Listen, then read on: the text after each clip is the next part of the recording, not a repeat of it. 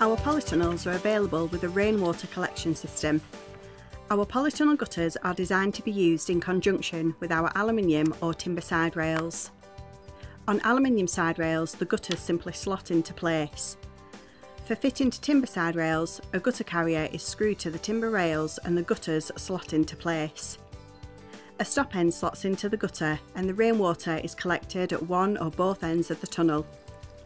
Our polytunnel gutters are long lasting and require no maintenance other than clearing them of debris occasionally.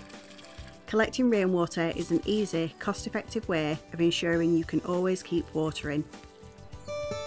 Premier Polytunnels supply a detailed construction guide with every polytunnel. We also provide a construction advice helpline seven days a week, along with a comprehensive collection of online construction videos. If you have any queries or questions, give the team a call or visit our website for more details.